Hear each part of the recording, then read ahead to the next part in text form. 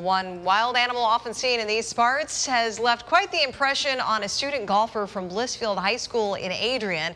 He was playing in a tournament at Wolf Creek Golf Club over the weekend when he was attacked by a Canada goose. Pictures of that encounter were posted to the school's Twitter account, so kind of them, and those photos have gone viral. They've been retweeted, oh, say about 10,000 times. We're happy to report that the golfer was not injured. Bless his heart.